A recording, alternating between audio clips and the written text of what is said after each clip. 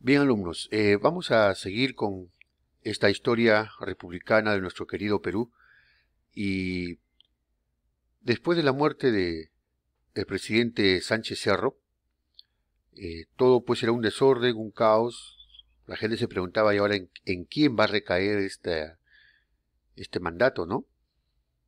Por un lado tienes a un grupo oligárquico, gente de poder, dueño de grandes empresas, de grandes tierras, que quisieran pues que uno de su gente llegue al poder. Y por otro lado están pues eh, el pueblo del Perú y que en ese momento eh, representaban a las fuerzas políticas socialistas. Una de ellas era el APRA. Entonces este, estos dos grandes grupos se, se encuentran enfrentados y por tomar el poder. Entonces, ¿en quién va a recaer esto? Aquí está pues el señor Óscar Raimundo Benavides, quien ya en la primera había gobernado un año, ¿no? Y este sería su segundo gobierno.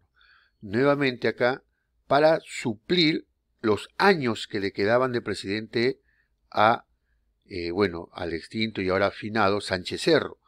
Es decir, Benavides llega para cubrir esa, esa plaza hasta nuevamente lograr nuevas elecciones, ¿no? Veamos.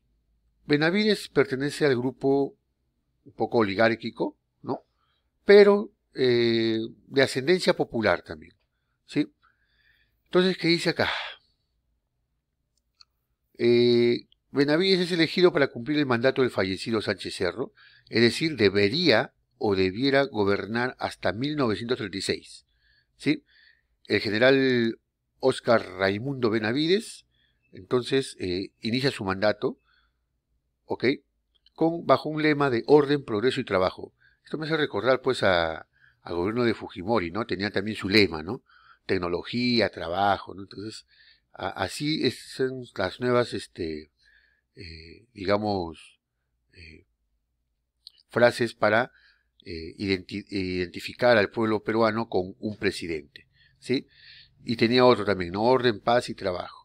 Benavides entonces fue elegido para impedir el desarrollo de un vacío político que el APRA pudiera aprovechar y llegar al poder. Eh, entonces la guerra política estaba declarada en el Perú. No, esta guerra política no es de ahora, ¿ah? no es de... Ustedes que dicen, no, por, por ahora se está... Esto ya viene de, miren, 60, 80 años atrás, ¿no? Entonces, eh, Benavides tiene que enfrentarse a dos grandes problemas. Problema interno con el APRA y la grave crisis económica que tenía el Perú, y el problema externo, recuerden que había un conflicto con Colombia, ¿sí? Y cuando Sánchez Cerro estaba a punto de enviar a todo su ejército para declarar la guerra a Colombia, es asesinado, ¿no? Entonces son dos, dos situaciones que tiene que resolver Benavides. ¿ya? Vamos a ver cómo lo resuelve. En el aspecto interno, o sea, la crisis política y la pelea con el APRA, Benavides procuró una tregua política con este partido, ¿no? Y como muestra, dio una ley de amnistía general, es decir, todos los que habían sido expulsados, todos los apristas que habían, habían sido expulsados afuera fuera del país por Sánchez Cerro, ¿no? Eh, él les dice que pueden entrar nuevamente, pueden regresar nuevamente al Perú, ¿sí? También liberó a todos los presos políticos apristas que estaban en las cárceles, ¿no? Entonces, de alguna forma, eh, el APRA disminuye su oposición al gobierno, ¿no? Y como quien dices, le deja, lo deja trabajar, ¿ok? Todo estaba bien, ¿no? Porque iba a gobernar total, iba a gobernar este Benavides hasta el año 36. Entonces el APRA se estaba preparando para ver cómo llegaba al poder, ¿no? En el 35 en 1935, lamentablemente asesinan a un, a un personaje del representante de la oligarquía en el Perú, ¿no? Al director del comercio, Antonio Miro Quesada, y a su esposa, por un aprista llamado Carlos Esther Lafont, ¿no? Debido a este incidente, nuevamente el gobierno, por, por presión de los oligarcas, ¿no? Eh, rompe las relaciones, la tregua política que había llegado con el APRA y nuevamente empieza a perseguirlos. entonces el APRA pasa a la, clandestinidad, ¿no? A que le llamó las catacumbas. Bueno, entonces esta tregua duró menos de un año y nuevamente los enfrentamientos políticos, ¿sí? Eh, en el aspecto de construcción, Benavides crea el Seguro Social del Obrero ¿ya? y construye un hospital para todos los obreros y para el empleado. Veamos, acá está. Guillermo Almenara, lo que es el hospital hoy día, que es en la avenida Grau, el Guillermo Almenara es construido en esos años, ¿ya? Eh, y se llamaba Hospital del Seguro Obrero. ¿ya? El del empleado es lo que conocemos como el Rebagliati, que está en, en, este, en otro distrito, ¿no? En la avenida Salaberry, por ahí. Este. Entonces, eh, otro, otro acto político necesario para el Perú era la construcción vial de la Panamericana, ¿no? O sea, toda una carretera desde Tumbes hasta Tacna. Y también otras carreteras que ingresaban por primera vez hacia la selva. En términos de leyes, bueno, se incluye el nuevo Código Civil en el 36, donde se incluye el divorcio, ¿no? Eh, y se terminó la construcción del terminal marítimo en el Callao. Recién se construye un moderno terminal en el Callao, el que hasta ahora existe, ¿no?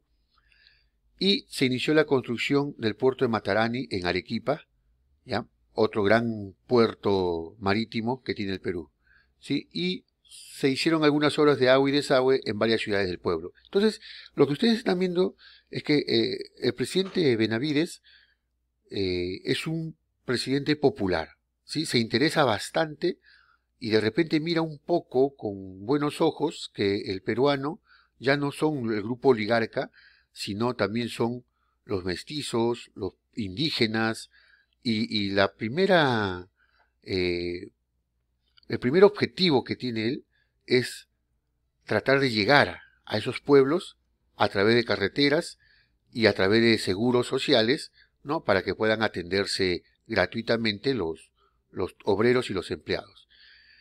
Bien, hasta ahí es positivo lo, de Benavides, ¿no? Pero acá viene una parte muy interesante, ¿no? Eh, ¿Cómo arregla el partido? Bueno, acá el gobierno de Benavides debería durar hasta 36. ¿Sí?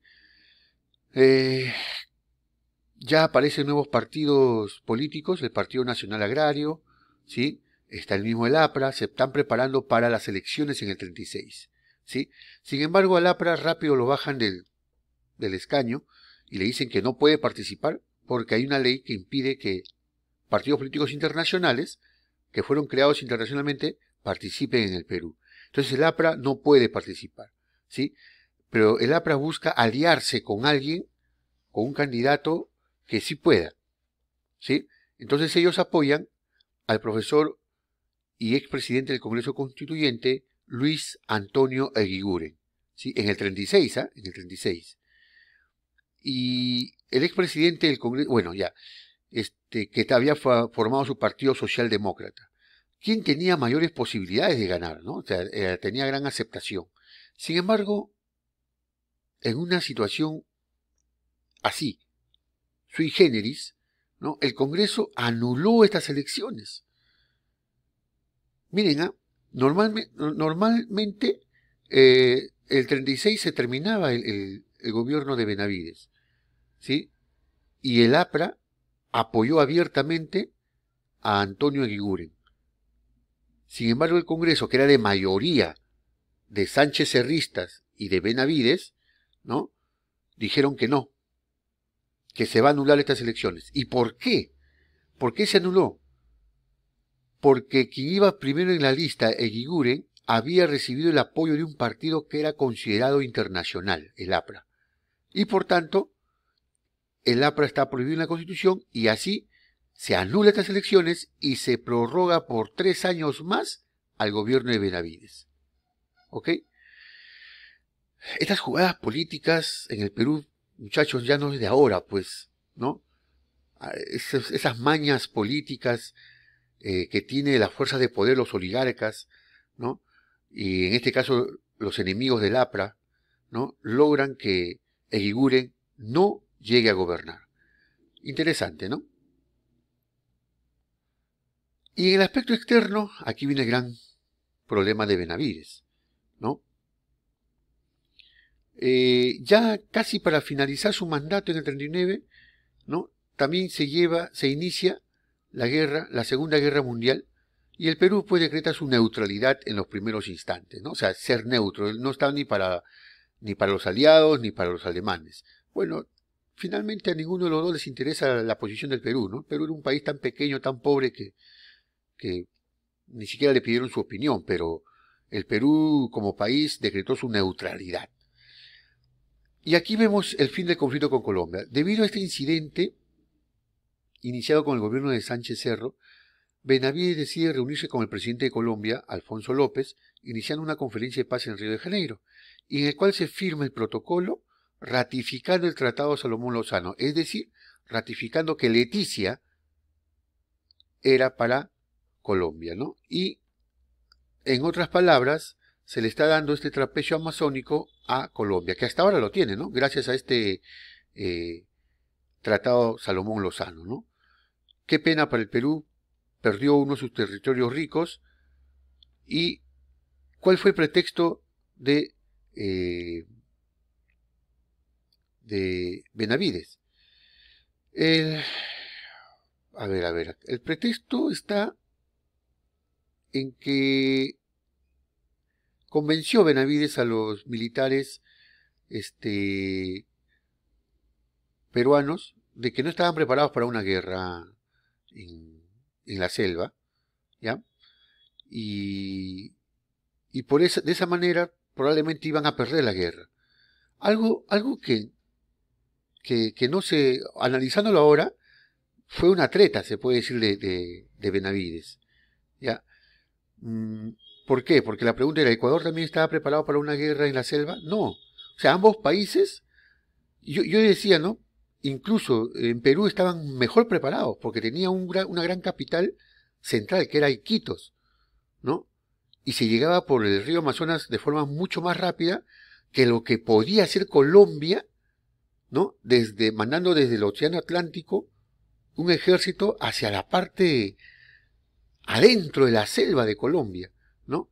Entonces, esto, era inaudito. Miren, miren, tenía que Colombia llegar a llevar a todo su ejército a esta parte. Para Perú era más fácil, acá estaba Iquitos. Llegar a la zona de conflicto era mucho más fácil que la de Colombia.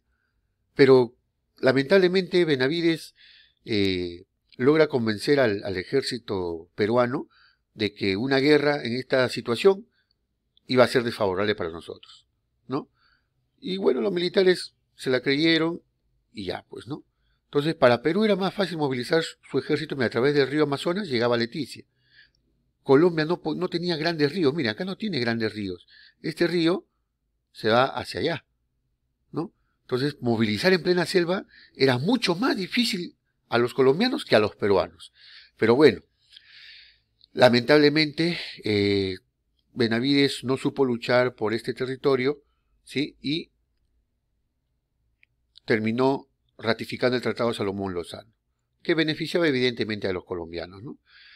Aquí, para terminar, se dan las elecciones en el 39 y aparece la figura de Manuel Prado ¿no? y José Quesada. El APRA no se presentó para no crear más conflictos, ¿sí? Y Prado tuvo el, apoyo del gobierno del Partido Comunista y de la banca y círculo, o sea, tuvo el apoyo de casi la mayoría de los grupos de poder eh, y, también de grupos sociales, ¿no? Eh, en el Perú. De esta manera, él gana estas elecciones y el 8 de, diciembre del 39 asume su mandato, ¿no? Ya, y Benavides ya da un paso al costado, ¿no? O sea, al final Benavides llegó a gobernar hasta 1939, ¿sí? Bueno, eh, eso es todo, muchachos. Esperando que ustedes resuelvan los, las fichas de evaluación. Eh, nos vemos en la próxima.